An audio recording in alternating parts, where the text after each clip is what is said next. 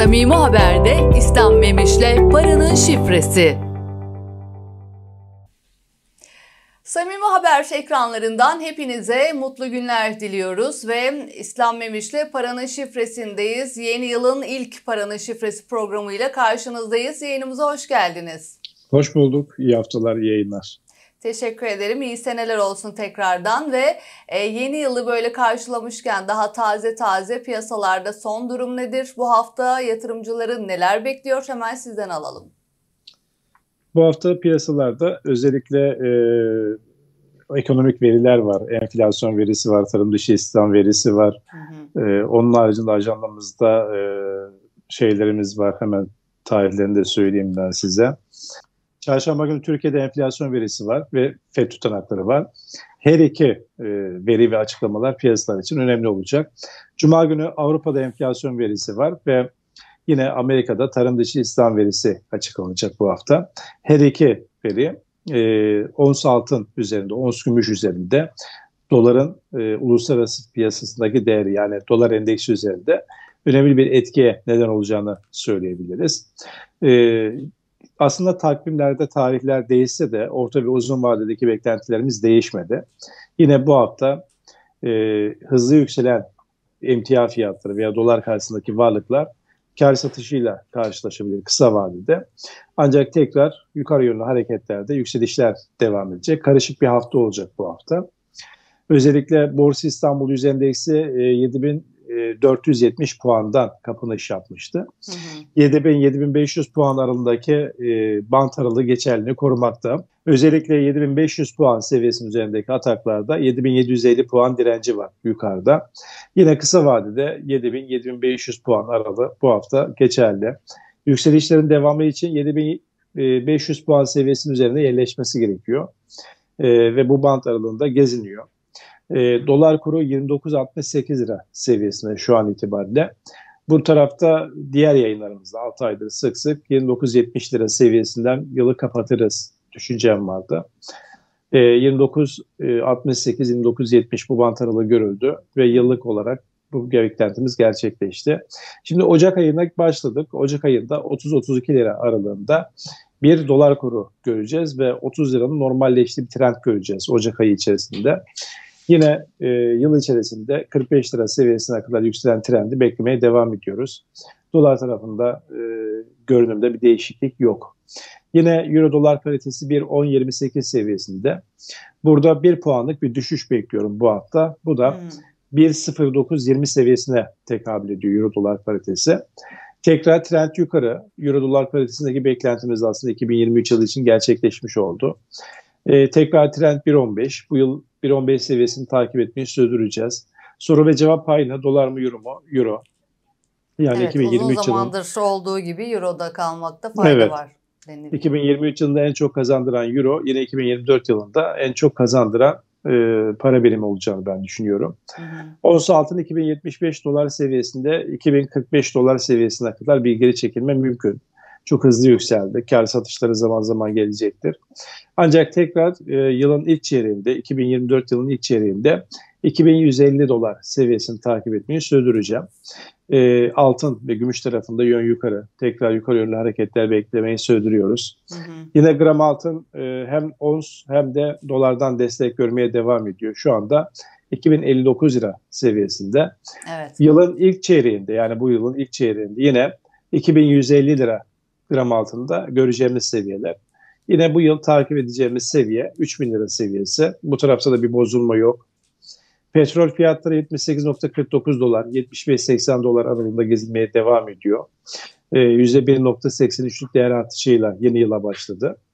Bu tarafta tekrar özellikle 2024 yılında yukarı yönlü ataklarını devam ettirebilir. E, kripto paralardaki yükselişler dikkat çekici. 45.423 dolar seviyesinde hı hı. %4 yükselişle yeni yıla ve haftaya başladı. Kripto paralarda özellikle Bitcoin tarafında 40-45 bin dolar aralığı geçerli korumakta. Ee, 45 bin dolar seviyesinin üzerinde atak gerçekleştirip 45 bin 50 bin dolar aralığına yerleşme isteği var. Gördüğümüz o. Ancak geniş bant aralığına odaklanmakta fayda var. Çünkü bu baskılanma halen devam ediyor manipülasyon piyasası. Takip ettiğim bant aralığı 38-48 bin dolar aralığı. Çok geniş bant aralığı yılın ilk çeyreğinde. Bu bant aralıklarını takip etmeyi sürdüreceğim. Yine e, dolar endeksi 101.17 seviyesine dolar endeksi. Burada da yukarı yönlü hareketlerde tekrar 102 dolar bu hafta test edilebilir ama tekrar geri çekilme ihtimali olduğunu söyleyebilirim. Peki ben de biraz başa alayım istersen. İşte bu hafta açıklanacak enflasyon rakamıyla beraber emeklilerin en çok merak ettiği sorular var biliyorsun ki. Ne kadar zam alacaklar şeklinde. Bir toparlayacak olursak oranı verebilir misin? Nedir tahminin? Yani burada belirsizlikler halen devam ediyor. Ee, çok ciddi belirsizlikler var. Ee, asgari ücret tarafında daha önceki yayınımızda 17.500 olarak telaffuz etmiştir. 17.002 olarak açıklandı. Ee, ama yine e, ciddi bir belirsizlik oluşmaya devam ediyor. Ee, bakalım bu tarafta sürprizlere açık bir rakamsal değer var karşımızda. Şu anda e, herhangi bir ibre yukarı ya da aşağı yönlü değil. Bir belirsizlik var maalesef. Evet. E, dolar ve euro tarafında yine dediğin gibi uzun zamandır euro alımlarına dikkat edilmesi gerektiği konusunda yine evet. bir uyarım vardı. E, hani bunlar çıktığı için söylüyorum 2024'te de nedir son olarak beklenti? 2024'te de dolar mı euro mu tercih edilmeli? 2024 yılının en çok kazandıranlarının listesine baktığımız zaman birinci sıraya yine gram altını koyuyorum. Hı hı. E, ikinci sıraya e, euroyu koyuyorum. Üçüncü sıraya gümüşü koyuyorum. Dördüncü sıraya da e, kripto paraları koyuyorum. Şöyle bir algı da var özellikle işte e, yeni yılı karşılarken kripto paralardaki o bahsettiğiniz 4 e, puanlık artıştan sonra kripto paralar uçacak en fazla kazandıran da 2024 yılında kriptolar olacak şeklinde. Bu bir algı mıdır yoksa gerçekten ibre o yönde mi?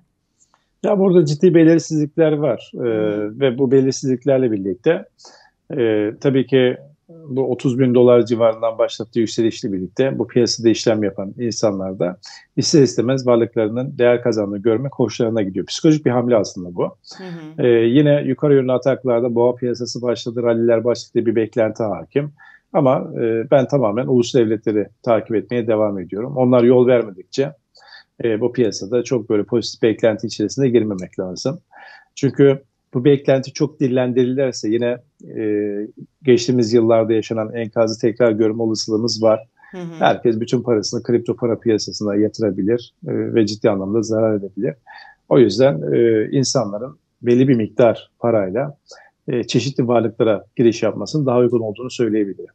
Evet bir sepet sistemi çünkü daha önce dediğin gibi e, evini barkını satıp o sonra kripto paralar yükselecek bu algılara inananlar sonrasında ellerinde hiçbir şey kalmadığını görebildiler. Peki kıymetli metallere dönecek olursak evet e, altındaki o e, işte rekoru konuştuk az önce ama gümüşten de biraz bahseder misin? 24 dolar seviyesinde, gram fiyatı da 23 lira seviyesinde. Burada 26, 28, 32 dolarları yıl içerisinde takip etmeyi sürdüreceğim. Gram tarafında da yine 30 lira seviyesi üzerinde rakamlar takip etmeyi sürdüreceğim. E, ee, 2023 yılında rasyodan dolayı çok negatif ayrışan gümüş e, artık 2024 yılında rasyodan dolayı biraz daha pozitif ayrışmasını bekliyorum. Hı hı. Peki var mı başka işte farklı metallerde konuşulmaya başlandı çünkü kıymetli metaller arasında evet. nedir öngörün? Yani e, şu anda bu hafta baya karışık bir hafta olacak. Çok geniş bantlarında dalgalanan bir piyasa olacak. E, ama genel trende odaklanmak lazım. Genel odaklanacağımız trendde e, emtia fiyatlarının, değerli metallerin, döviz kurlarının yukarı yönlü hareketlerini sürdüreceği yönünde. Son olarak borsayı da sormak istiyorum. Bayağı bir düşüşler yaşadı yılın son evet. haftasında. E, bu hafta bir toparlama mı olur yoksa direkt bir yükselişle karşılaşır mı yatırımcı? E, buradaki bant aralığı dar bant aralığında gezilmeye devam ediyor. E. Ee, ama orta ve uzun vadeli yatırımcılar e, genelde bu fırsatları, e, bu seviyeleri bir fırsata çeviriyor. E, borsa tarafında ben pozitif beklentimi devam ettiriyorum. Yılın ilk çeyreğinde 9000 puan seviyesiyle alakalı düşüncem geçerli. Peki çok teşekkür ederim. Eklemek istediklerim varsa hemen onu da alalım. İyi haftalar diliyorum. Sağ olasın. Teşekkür ederim. İyi haftalar olsun. Finans analisti İslam Memiş'te Paranın Şifresi programını burada noktalıyoruz. Bir sonraki programda yeniden görüşmek dileğiyle. Hoşçakalın.